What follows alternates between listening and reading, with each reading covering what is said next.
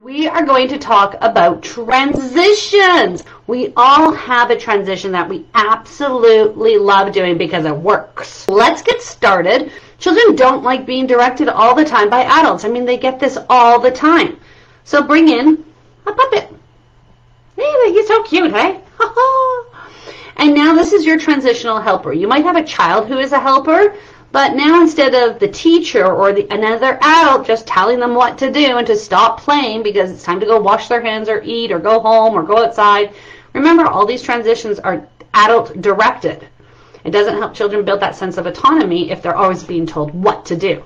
Having a puppet to help children during transitions, I find children are way more responsive to this than this sometimes.